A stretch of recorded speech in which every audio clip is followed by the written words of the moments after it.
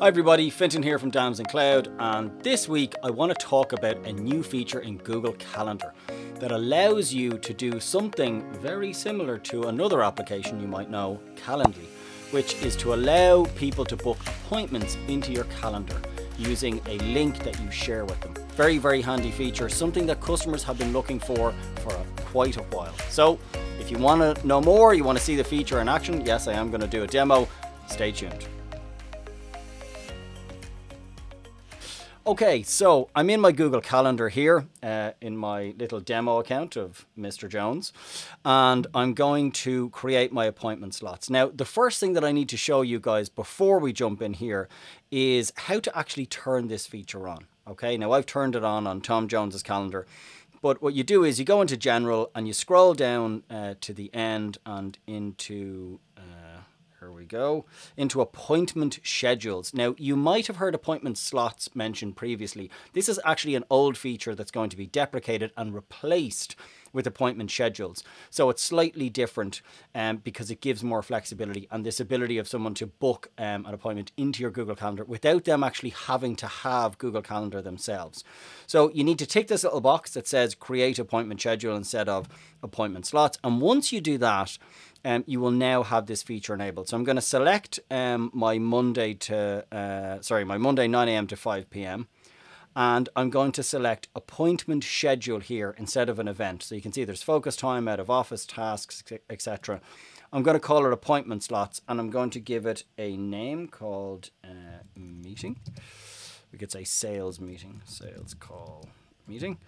Um, and I'm going to hit continue. And when I hit continue, I actually have the option now to add other days that I could be available for sales calls. So I'm going to say Tuesdays and Wednesdays and Thursdays. It's nine to five. Obviously, appointments that are in there um, already, so I've got some appointments on my calendar. It will block those out. It won't allow people to book stuff in.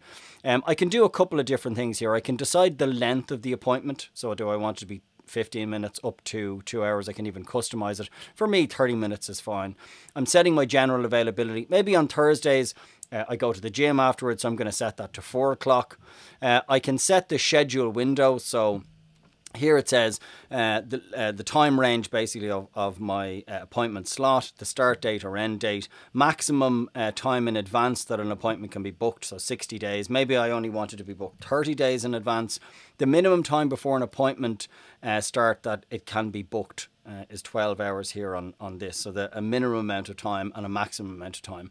Uh, for me, probably 12 hours is quite a lot. I'd be happy with six. That's fine. Um, changing of dates availability. So that's just adjusting some of the availability. If there's some dates you want to uh, cut out, maybe you're on holidays.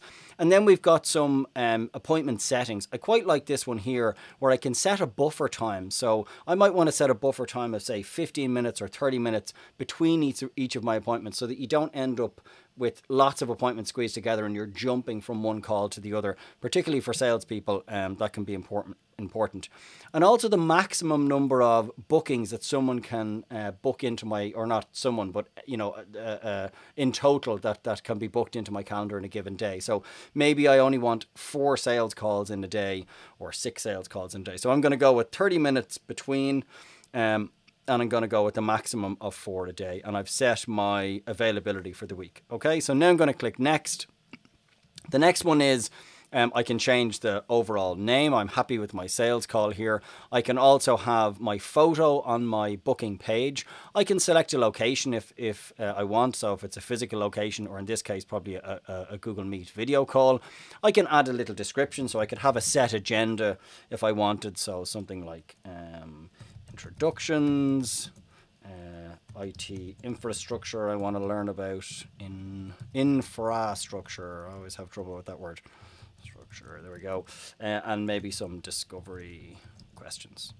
Okay, and then we could say uh, next steps. Okay, so I want that to be in each of my appointments that's being booked because this particular one is for sales calls. And then on the booking form, what information do I want? It's it's defaulted here to first name, surname, and email address because obviously it needs that. But I could add some additional items here. So maybe I also want the person's phone number and I want that to be required. Maybe I also want to know uh, a custom item here I can put in and I want this to be uh, job title And again, I can make that, I'll leave that one as optional, say. Okay, so so that's, I'm pretty happy with that. And down below here, I've got my email reminders and things like that. Uh, it, it says one, one day before. I'd also like to have an email reminder one hour before and I'd like a reminder five minutes before. Okay, so that's the kind of default for this, this appointment. And now I'm going to save that uh, and I can open up, it's opened up the, the first one here on Wednesday. I can go to the booking page and this is what people are going to see in my diaries. Okay, and, and so we can see here what it will look like for the end user.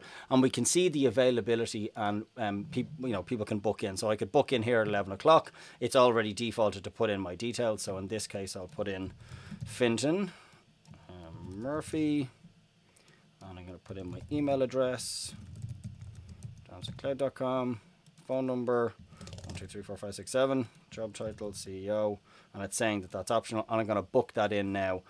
And that is my first appointment booked and now if I go back to Tom Jones's email, we can see an appointment has been booked in here. and obviously uh, Tom has already said yes to it. And if I go and take a look at my calendar uh, and my email, which I also have saved, I'll just open that up now. We will see an email in from Tom um, and that's booked into Fintan's calendar now as well. Sales call 11 o'clock on Thursday the 14th. So that is the new Google feature for uh, booking appointments. I think this is going to be heavily used by a lot of customers, uh, and I'm really, really excited uh, to see this out in the wild. Uh, this is launch, so you can start using this feature straight away. Uh, hope you guys enjoyed this week's update. If you are not, please do subscribe to our YouTube channel. If you are on LinkedIn, Twitter, Facebook, or Instagram, you can follow us on there well. As always, please like and subscribe and comment. We love to hear engagement from our viewers and customers, and I will see you guys next week.